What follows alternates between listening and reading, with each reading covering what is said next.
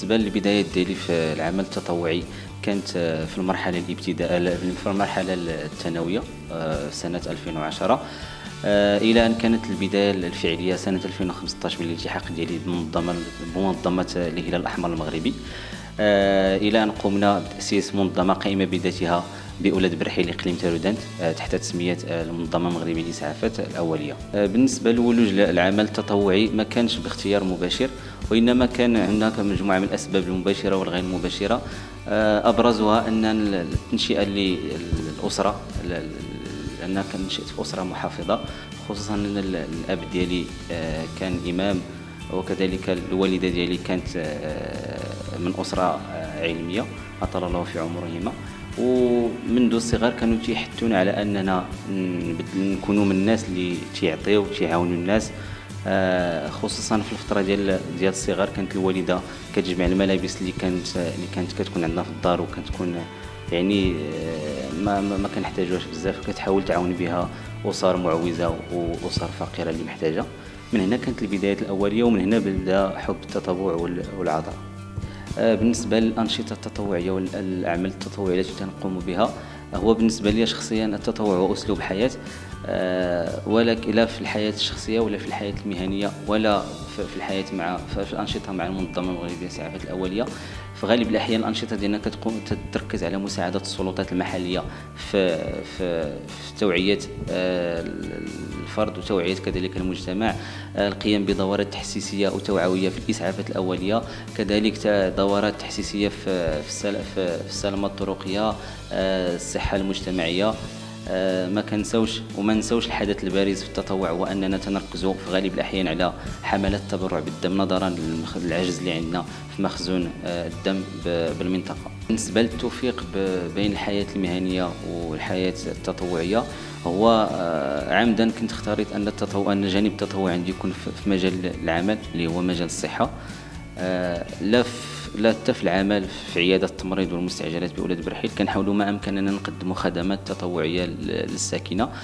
آه، لكن غالب الأنشطة اللي تيكون عندنا في المنظمه آه، تتكون في غالب الأحيان كتكون في نهاية الأسبوع وبالتالي تتكون الوقت الكافي أننا نبذلوا مجهود ونبذلوا ونتبرعوا ونتطوعوا مع المنظمه بالنسبة للأسرة والتطوع هو في بداية الأمر كان تخوف من الأسرة أن العمل التطوعي يطغى على العمل المهني ويكون مضيعا للوقت لكن مع المدة اقتنعوا اقتنعوا بالفكرة ديال التطوع وعرفوا بلي أنني آه، كنحب هذاك المجال وحتى المجال اللي كنشطوا فيه ولا اللي كنحاول نتطوعوا فيه هو مجال سامي اللي هو اللي عنده علاقة بصحة الفرد والمجتمع.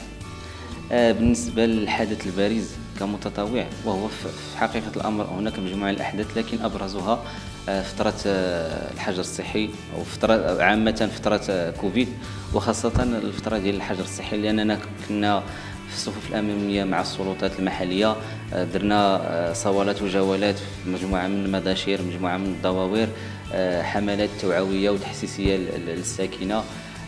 كذلك كنا من بين الناس اللي كيستقبلوا الوافدين من المدن في فترات الحجر الصحي.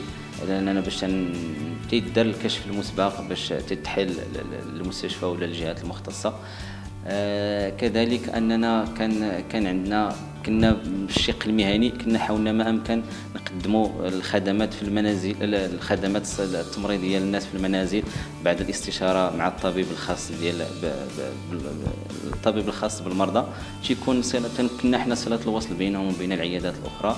والحمد لله تم تقديم مجموعة من الخدمات الجليلة لا من جهة المنظمة المغربية للاسعاف الأولية ولا من جهة السلطات المحلية. آه، كلمتي للمتطوعين هو كلمتي للشقين للمتطوعين ولغير المتطوعين. للمتطوعين استمروا ولا تملوا ولغير المتطوعين بادروا ولا تترددوا ففي التطوع آه، فوائد كثيرة. قد يقول قائل آه، شنو شنو كتستفيد أنت من هذا التطوع وأنت كتخدم بالليل وبالنهار وبدون مقابل.